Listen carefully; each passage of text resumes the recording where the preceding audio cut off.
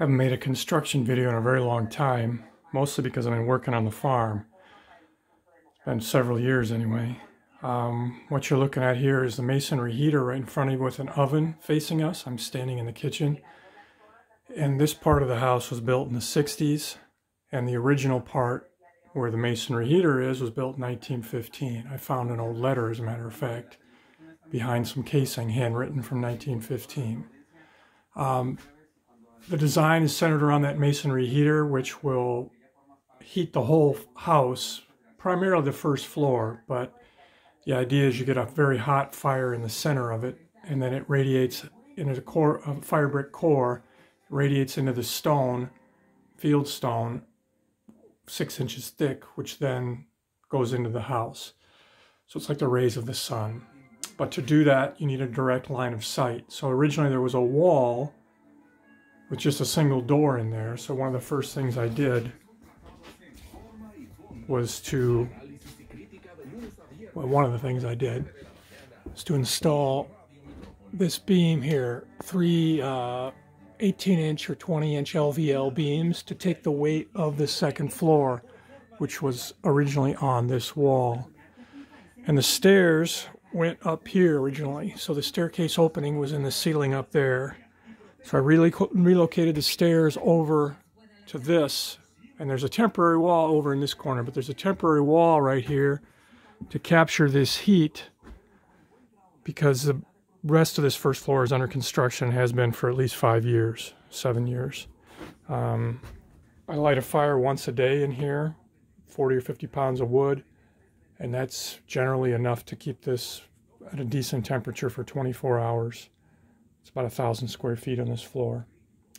Um, so like I said, there's a temporary wall here that I'm in the process of just about ready to take down. But before I could do that, I want to do that, I want to be ready to put the drywall up and to finish it off in here. So the part we're walking into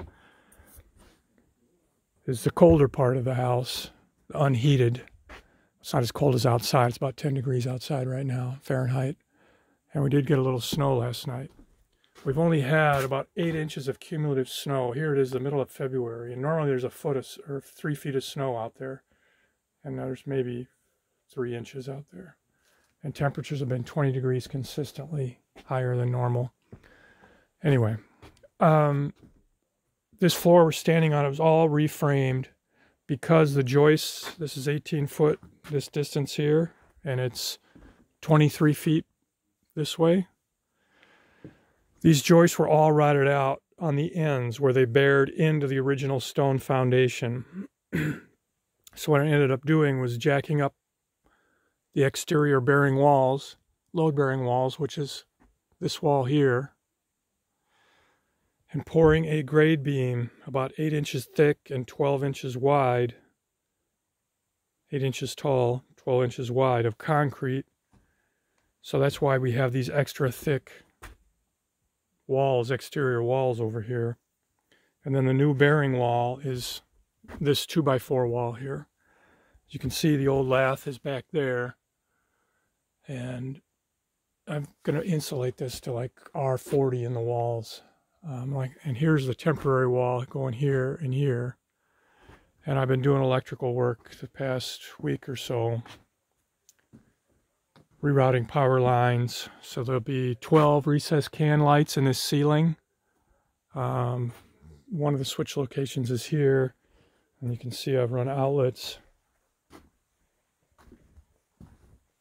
all along the exterior walls. And they'll get well insulated. Um, then uh, drywall will go up on the ceiling. That's half of the drywall for this ceiling. I've got a drywall lift.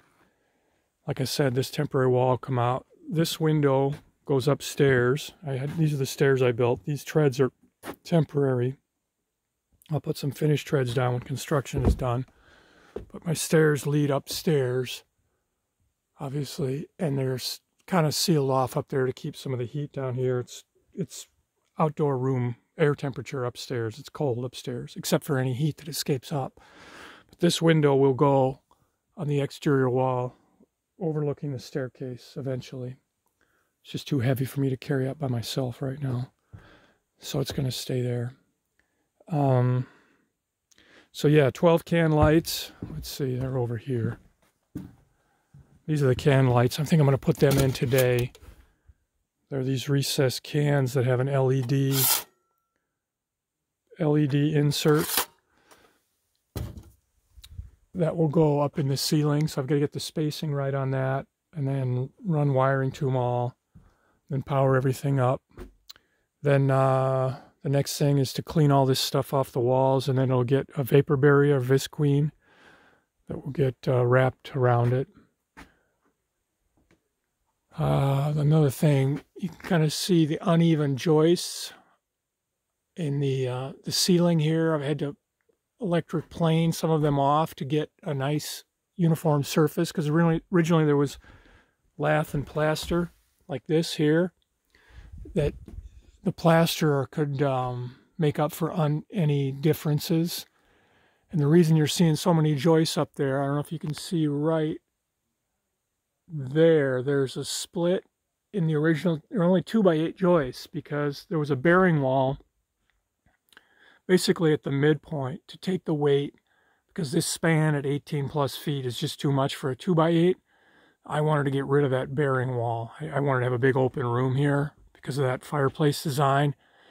So what I ended up doing, I sistered 2x8s on there, and then I also put some LVL, which are those blue structural, they're man-made lumber, but uh, they're to take the, the span, basically, the 18 feet, and I also put some C-channel, if you can see that black C-channel, I put that in a few spots as well, just to stiffen up that floor. It's still a little flexy, but according to the span tables and the load tables, I should be okay. I, I am okay up there with that. So the goal here is mid-February if I can get, I won't be able to do farm work till the end of March at the earliest up here. So I'm hoping to get this um, drywalled, the ceiling and the walls in the next four to five weeks. It doesn't seem like that much, but for one guy, this is pretty much a one-man show. I mean, all this construction, all this floor joist. My dad helped a tiny bit and my nephews helped a tiny bit, but they haven't been here in a while. So, you know, for example, this fireplace weighs 10,000 odd pounds. Uh, masonry heater is what it's called. You can, uh, I took a class at North House, North House Folk School in Grand Marais, Minnesota about seven or eight years ago. Highly recommended to do that if you're going to build one of these. So there's a fire brick core. You can maybe see the fire brick on the inside of the firebox there. There's air inlets at the bottom. So combustion air comes in here and it is up in the top. It enters into the firebox up in the top inside of the door. And then the flue gas, as it draws really well, goes up, hits the top, comes across. There's fire brick channels, C channels inside the stone. So there's two layers. There's the cladding, six inch field stone, and then there's the fire brick core inside. So that heat is going through those channels and it ends up going down below and there's a fire brick, brick flue inside this bench it goes over and then goes up this chimney out through the roof so you, as you can imagine this foundation or this pad here is supported down below by two steel beams that are on top of it this is a six inch reinforced concrete pad and the framing is actually stood off from that pad down in the basement.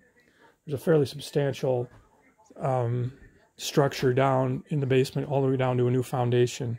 So it was quite a bit of work to tear out this whole floor and to reframe it with this in mind. Um, I did put some drywall up there temporarily and the exterior of this, at this exterior will be about 110 degrees, this stone, for about 24 hours after a firing. Um, and on this side, I've got an oven. I don't know if it'll show up in there, but I've got a little thermometer in there. Oven temperature, it's about 400 degrees in there right now. And the, uh, the front door will be right here. It's temporarily closed off. Um, see outside, a little bit of snow. Practicing my Spanish. Dog-proof bed. So this wall this paneling will come out too. I'll change that, put drywall on that. And then um, pretty much it. That's the house tour. So it's uh, been a long time coming. It's It'll be nice to get this um, next stage wrapped up. 10 minute long video, some kind of record. Okay, thanks for watching. Bye.